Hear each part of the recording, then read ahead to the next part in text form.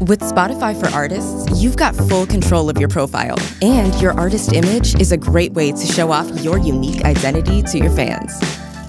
From your Spotify for Artists app, click the profile icon here on mobile, or here on desktop to navigate to your profile. Then click Edit Image and select the photo you want to make your profile picture.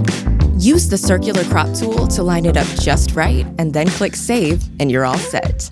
Your new profile picture is live on Spotify. Now for the fine print. Your image shouldn't contain any infringing or offensive materials, writing, brand advertising, or busy backgrounds. It also shouldn't promote your upcoming tour or album release. Okay, that's all for now. Till next time.